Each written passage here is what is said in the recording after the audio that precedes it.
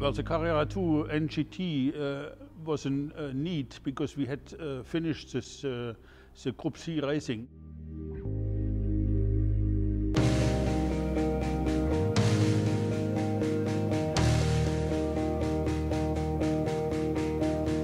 My work was to create new uh, new methods of uh, building cars and making races also.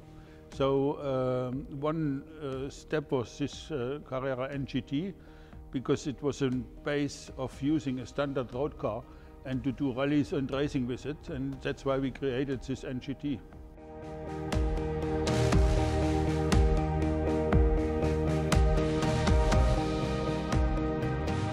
I, I knew off Jürgen and he was the gentleman that actually built the car.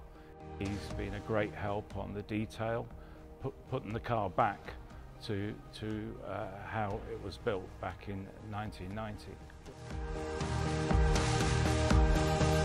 And if you uh, go into the history of this one, it's nice to see that it's still in a good shape and even better shape after the restoration now.